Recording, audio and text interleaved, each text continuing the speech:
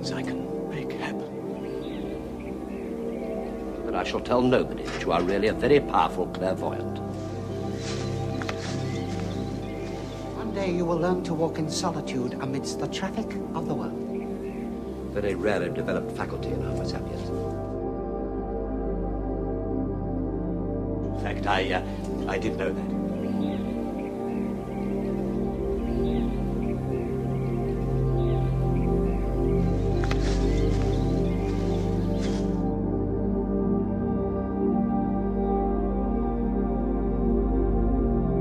Everybody's going on about meditation of one sort or another, so I thought I'd have a crack at it. Old man must die, and the new man will discover to his inexpressible joy that he has never existed.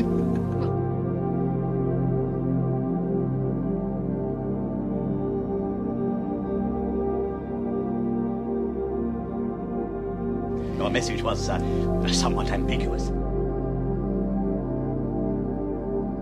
Things pass away as you will learn in your meditation. You see, Professor, my particular field covers uh, psychometry, telepathy, and uh, clairvoyance as well, so I thought perhaps. Ah, very, uh, very perspicacious of you, Doctor. Then he will find his true self, which is no self. He will see his true mind, which is no mind.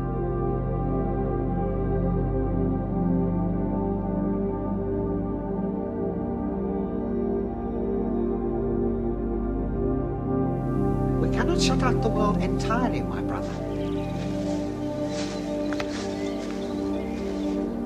This world of samsara, the world of appearance, is the world of change.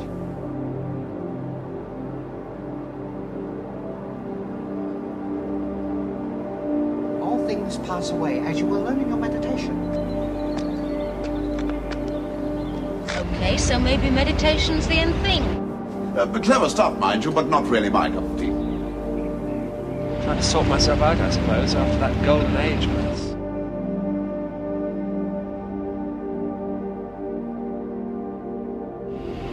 I think they're in touch with some. oh, I don't know. Some power.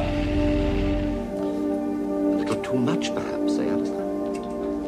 Oh, doing a bit of hairdressing on the side. Oh, no.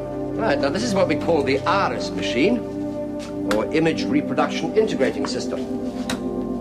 It translates your thoughts into pictures on this monitor here.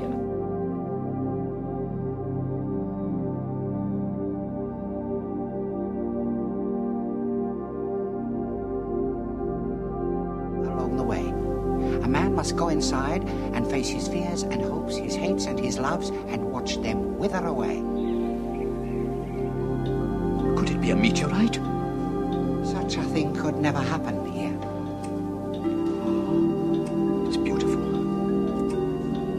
Gemstone.